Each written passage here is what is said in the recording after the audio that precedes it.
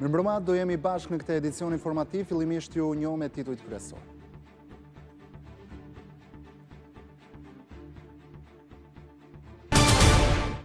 Menjëherë pas deklaratës së SHBA-ve dhe Bashkimit Europian për tensionet në veri të Kosovës, shefi i zyrës për Kosovën në qeverinë serbe, Petar Petkoviç, tregoi se presidenti i Serbisë Vuçiç u ka kërkuar serbëve të tërhiqen nga barrikadat.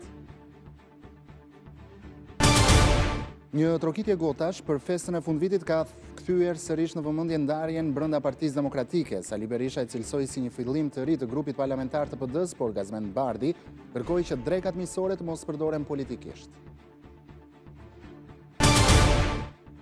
Socialistët nuk do të respektojnë traditën parlamentare për t'ia lënë ekskluzivitetin e përzgjedhjes së kandidatëve për avokat të popullit opozitës. Në një intervistë për Report Televizion, Taulant Balla gjithashtu hodhi poshtë rizgjedhjen e Ballancës.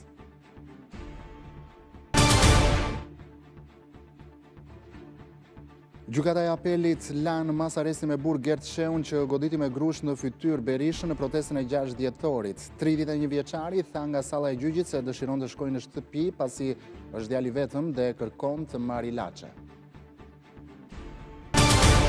Ish zyrtarja Viola Sterio u arrestua pasi arriti t'i marrë 324.000 euro, 4 bizneseve në Korçë dhe Pogradec, me premtimin se do të ushtronte ndikimin e saj që të përfitonin grante miliona euro nga AZHBR, kryesisht për bujtina.